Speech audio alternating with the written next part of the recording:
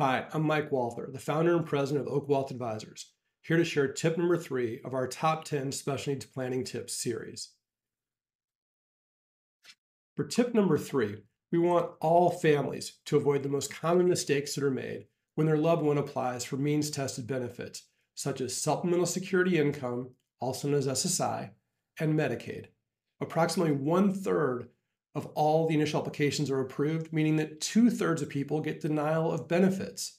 To avoid the denial of benefits, you need to ensure that the individual has less than $2,000 of assets in their name, and you should never embellish the individual's abilities when asked about their skills.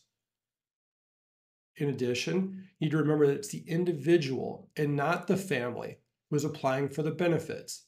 As such, when asked how many people are in the individual's household, the answer is one. It's a household of one, even if they're living with parents and or siblings. These are three of the most common mistakes we have seen families make when helping their loved one apply for means tested benefits.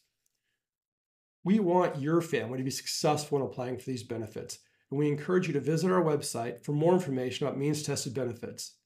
Thank you for listening, and we look forward to sharing tip number four next month.